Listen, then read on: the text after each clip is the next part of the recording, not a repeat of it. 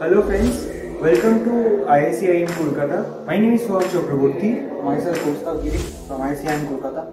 We made this project of stair climbing robo. It can solve purposes such as it can act as a wheelchair, stair climbing wheelchair. It can also act, uh, move over uneven surfaces.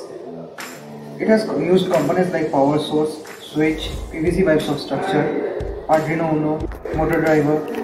We have six motors attached to it. Uh, it is connected by a Bluetooth module that can be uh, completely automated using an app.